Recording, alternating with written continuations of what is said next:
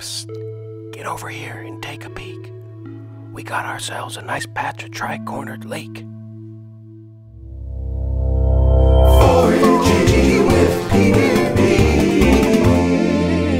That's me.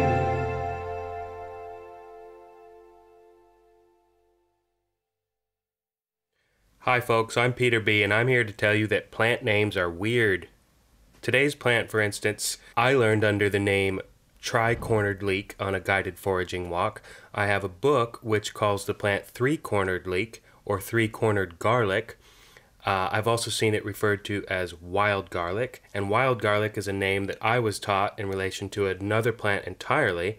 And that plant that I know as wild garlic has many different names all around the globe.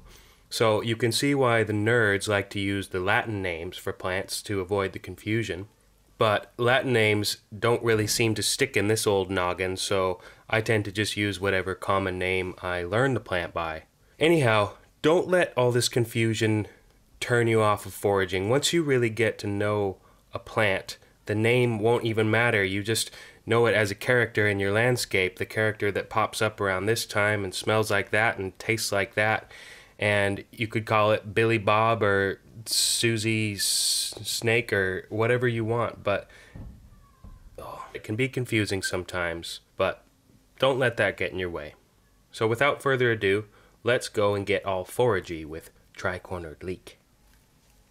Tri-cornered leek is a member of the onion family, which has been said to grow pretty much all year round, though it is most recognizable around April and May when it tends to be flowering.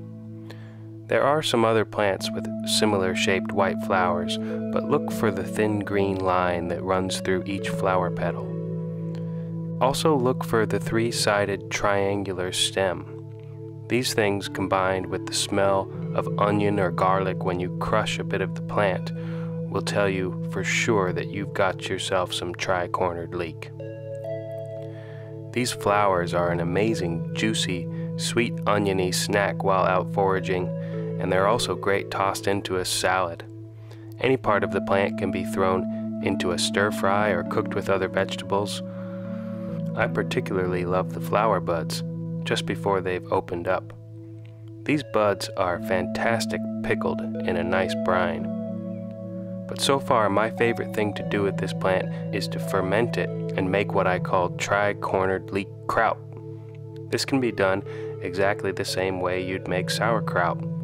Just get a healthy sized bunch of the plant, flowers and all, shred it up, and add a bit of salt.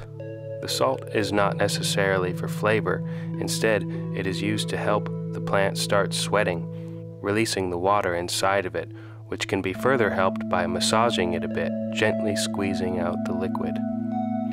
Once you've got it all chopped up and lightly bruised, you then pack it into a jar and start pressing down, trying to get the liquid to rise above the plant matter. I find that tri-cornered leek is an especially great plant to do this with because it's so juicy inside, you never need to add any additional liquid. You may find you need to let it rest for a while and then come back and press down a bit more later. But eventually you'll be able to get that liquid well above, especially with the help of some kind of weight put in there to continually press down. At which point, you simply leave this to ferment, preferably in some place not too cold. The warmer the environment, the faster the fermentation. I have found that after a week or 10 days, this kraut is ready to eat, making a delicious snack or great little side dish full of all those great little bacteria buddies that make our gut happy. Yummy!